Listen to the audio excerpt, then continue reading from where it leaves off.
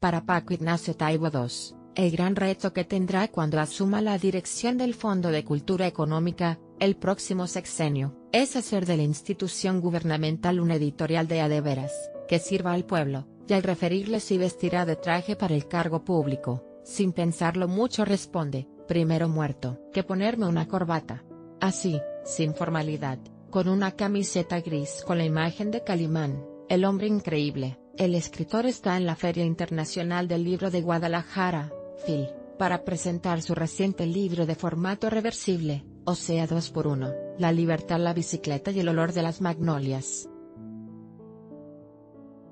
Previo a la entrevista con Organización Editorial Mexicana, OEM, al también periodista se le escucha decir, sobre la polémica que se desató por su doble nacionalidad, mexicana y española, lo cual era un impedimento para desempeñar dicho cargo, lo cual ya se solucionó, eso me tiene sin cuidado debido a que agrega, lo importante es trabajar por el bien de la cultura.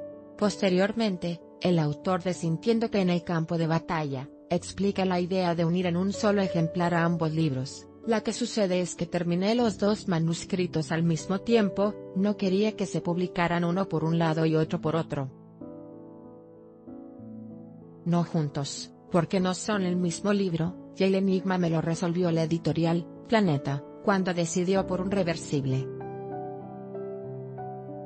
Así baja el precio y al mismo tiempo son diferentes. Taibo agrega que sus publicaciones tienen una manufactura rara. Hay libros en el closet que están 15 años. Los tomo, los escribo un poco, los dejo por mucho tiempo, no me gusta, lo reescribo tengo como dos empezados.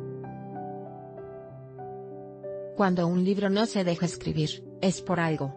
A propósito del olor de las magnolias, Paco Ignacio explica, básicamente quería contar la historia de un grupo de migrantes en la mera dictadura porfiriana. Supuestamente los trajeron para que fueran campesinos en zonas conflictivas donde había problemas con comunidades indígenas. Al mismo tiempo narra la historia del pecado del personaje central, que regresa a Nápoles, ciudad que conozco muy bien porque ahí presenté decenas de veces libros míos. Y cuando logré las dos cosas me inventé una ciudad, Magnolia, que no existe y ya que la imaginé, pude colocar ahí la trama. ¿Esta historia tiene algo de realismo mágico? Sí. Sepúlveda decía, no busques realismo mágico, sino la magia de la realidad y es buena la frase.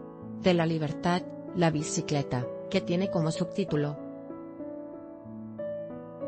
un periodista intenta huir de la censura de la dictadura franquista, y descubre que el ciclismo profesional es la salida. El escritor comenta, Cultura Paco Ignacio Taibo II acepta dirigir el Fondo de Cultura Económica es un canto al periodismo, a la libertad y a mi padre, Paco Ignacio Taibo y, se lo debía. Tardé muchísimo en hacerlo. Cuando lo logré, fue maravilloso, porque era como estar con él a mi lado en las noches. Estuvo guardado 10 años porque no encontraba sus artículos y al no hallarlos, me faltaba parte de la carne del libro. Porque la analogía con la bicicleta. Porque fue la forma en que mi padre encontró la libertad, que está ahí al alcance de la mano. Hay que buscarla. Además fue divertido, mezclar mis recuerdos de infancia con los artículos de mi padre, con las memorias sueltas que había de él escritas aquí y allá, la pedacería y hacer un marco. Decir, esto primero y esto después. Que no pesara tanto la visión del niño en la narración, pero que siempre estuviera ahí. Técnicamente fue el mayor problema y el segundo, era hilvanar las crónicas que escribía él en su día, como una reflexión para los lectores que no saben quién es Beamontes. Federico Martín ciclista nacido el 9 de julio de 1928, apodado el Águila de Toledo. Ambas historias se vinculan por el tema de la migración.